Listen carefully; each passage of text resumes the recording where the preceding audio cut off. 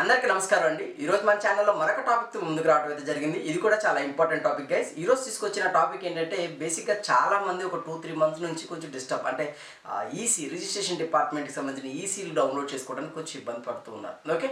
ఈ విషయం అందరికీ తెలిసిన విషయం. కొంతమంది నాకు కామెంట్ చేస్తాను నాకు పబ్లిక్ ఈసీ రావట్లేదు. నేను దగ్గరలోకి అంటే మీ సేవకు వెళ్ళాల్సి వస్తుంది. అక్కడ ట్వంటీ ఫోర్ అవర్స్ కూడా రావట్లేదు. ఇంకొక విషయం ఏంటంటే అక్కడ మనం పెట్టినా సరే అప్లికేషన్ ఫెయిల్ అవుతుంది ఆర్ఎల్స్ రిజెక్ట్ అవుతుంది. ఇంకొక విషయం నాకు ఎక్కువ అమౌంట్ ఛార్జ్ జరుగుతుందనే విషయం కూడా ఇలా కొన్ని కొన్ని కారణాలు అయితే కొంతమంది చెప్తూ ఉన్నారు. కొంతమంది నాకు వాట్సాప్లో కూడా మెసేజ్లు చేస్తున్నారు సో వాళ్ళ కోసం అండి ఒక వీడియో. సో ఇక్కడ చూసుకున్నట్లయితే రిజిస్ట్రేషన్ డిపార్ట్మెంట్కి సంబంధించిన ఒకప్పుడు ఏంటంటే ఆంధ్ర తెలంగాణకి ఒకే ఒక సర్వర్ మెయింటైన్ చేసేవాళ్ళు అన్నట్టుగా అక్కడ ఒక రెగ్యులేటెడ్ ఒక మెసేజ్ అయితే డిస్ప్లే చేశారు అక్కడ. ఓకే? ఇది ఐజీఆర్ఎస్ వెబ్సైట్లో. సో ఇప్పుడు దాన్ని మైగ్రేట్ చేస్తున్నాం. సో మైగ్రేట్ చేయడం మూలంగానే మీకు మేము ఈ యొక్క ఈసీ సర్వీస్ అందించలేకపోతున్నాం అని చెప్పేసి వాళ్ళు మెసేజ్ అయితే డిస్ప్లే చేయడం అయితే జరిగింది. సో అది మీకు లైవ్ చూపిస్తాను. సో అసలు మనకి అసలు ఈసీ అంటే మీ అందరికీ తెలిసిన విషయం. ఒక పది సంవత్సరాలు లేదా ఒక ఇరవై సంవత్సరాలు ఒక పాతిక సంవత్సరాలు ఓకే? సో ఇలాంటి సంవత్సరాల్లో ఏదైతే సంవత్సరాల్లో ఒక ల్యాండ్ మీద జరిగిన డీటెయిల్ అంటే ట్రాన్సాక్షన్స్ ఒక పది సంవత్సరాలు ఎంతమంది కొన్నారు ఎంతమంది అమ్మే డీటెయిల్స్ని చూపించేది ఈసీ దాని ఎన్కంబరెన్స్ సర్టిఫికేట్ అంటారు. ఈ యొక్క ఎన్కంబరెన్స్ సర్టిఫికేట్ వచ్చేసేసి గైస్ మీరు డౌన్లోడ్ చేసుకోవడానికి అంటే చూడడానికి ఏదో అవకాశం ఉంటుంది కానీ డాక్యుమెంట్ నెంబర్స్ ఉంటాయి link documents if in case మనం ఒక డాక్యుమెంట్ నెంబర్ కొడితే ఈసీలో దాని లింక్ డాక్యుమెంట్ నెంబర్ కూడా డిస్ప్లే అయ్యి మనకి డిస్ప్లే అయ్యేది. బట్ ఇప్పుడు అలా కుదరదండి. డాక్యుమెంట్ నెంబర్స్ ఖచ్చితంగా ఉంటే మీరు డీప్ పర్టికల్ పర్టికులర్స్ అయితే చూడొచ్చు ఆన్లైన్లో ఓకే అంతవరకు మాత్రం అవకాశం ఉంది. సో అంతకు మించి మనం లింక్ సంబంధించిన ఈసీలు చూడడానికి అయితే అవకాశం లేదు. ఓకే ఈ లింక్ సంబంధించిన డాక్యుమెంట్స్ మీరు చూడాలి అంటే దగ్గర ఉన్నటువంటి మీ యొక్క ఎస్ఆర్ఓని అంటే సబ్ రిజిస్టర్ ఆఫీస్ని మీరు విజిట్ చేసినట్లయితే అక్కడ మీకు దొరుకుతుంది ఒకటి. అక్కడైతే మీకు ఇన్స్టెంట్గా వెళ్ళిన ఒక one hour or two hours or ఒక వన్ హాఫ్ డేలో మీకు క్లోజ్ అయిపోతుంది హాఫ్ డే కూడా పట్టదు. ఖాళీగా ఉంటే మీకు ఫైవ్ మినిట్స్లో కూడా ఈ యొక్క ఈసీ డాక్యుమెంట్స్ అయితే దొరుకుతాయి. ఈఫ్ ఇన్ కేసు అక్కడ మీకు దొరకలేదు. ఇంకా అప్పుడు మీరు ఏం చేయాలంటే ఖచ్చితంగా మీ సేవ నియరెస్ట్ మీ సేవ సెంటర్కి వెళ్ళి అక్కడ మీరు అప్లై చేసుకోవటమే. అక్కడ అప్లై చేసుకుంటే it will be take some time అంటే maximum minimum time twenty four hours twenty four hours లోపే మనకి ఈసీ అయితే జనరేట్ వచ్చేస్తుందండి. Maximum hours seventy two hours ఈ సెవెంటీ టూ అవర్స్లో నేనైతే అష్యూరెన్స్ అయితే ఇవ్వలేను ఎప్పుడు వస్తుంది ఏంటి అనేది అంటే కొన్ని హోల్డ్ అవుతూ ఉంటుంది అంటే డ్యూ టు అక్కడ సర్వర్ ప్రాబ్లమ్ అని చెప్పి సార్ మెన్షన్ చేశారు కదా. సో జస్ట్ మీకు నేను చూపిస్తాను డీప్ పర్టికల్స్ ఏ విధంగా చూడాలనేది. ఇక డీప్ పర్టికల్స్ చూస్తే కొంతవరకు కొంత మరి అట్లీస్ట్ ఒక టెన్ పర్సెంట్ నాలెడ్జ్ అయితే అంటే టెన్ పర్సెంట్ ఇన్ఫర్మేషన్ అయితే మనం గ్యాదర్ చేసుకోవచ్చు. ఓకే సో లింక్ డాక్యుమెంట్లు తప్ప. ఓకే ఒకసారి మీరు చూసేయండి.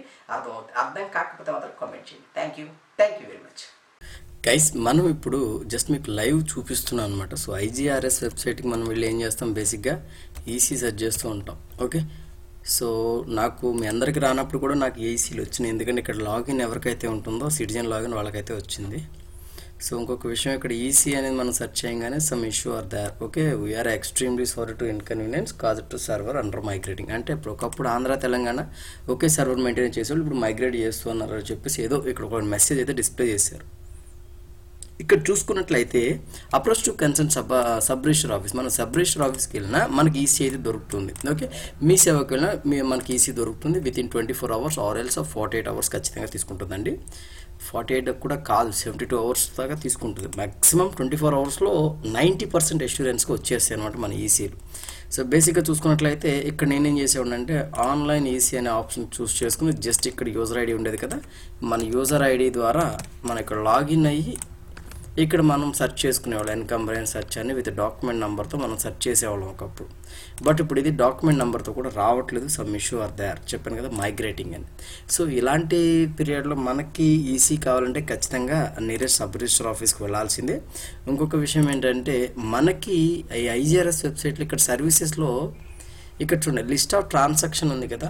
సో ఈ యొక్క లిస్ట్ ఆఫ్ ట్రాన్సాక్షన్ మనం వెరిఫై చేసుకోవటం తప్ప అంటే ఈసీ అంటే మనం ఒక ముప్పై ఏళ్ళు ఆర్ఎల్స్ ఒక పది సంవత్సరాలు ఆర్ఎల్స్ టెన్ ఇయర్స్ ఈ మధ్యలో జరిగిన ట్రాన్సాక్షన్ డీటెయిల్స్ అయితే మనం చూడవచ్చు ఈసీలో బట్ ఇక్కడ లిస్ట్ ఆఫ్ ట్రాన్సాక్షన్ అని మనం క్లిక్ చేసినట్లయితే డీ డీటెయిల్స్ అయితే మనకు తెలుస్తుందని సో డాక్యుమెంట్ నెంబర్ చూస్ చేసుకుంటాం.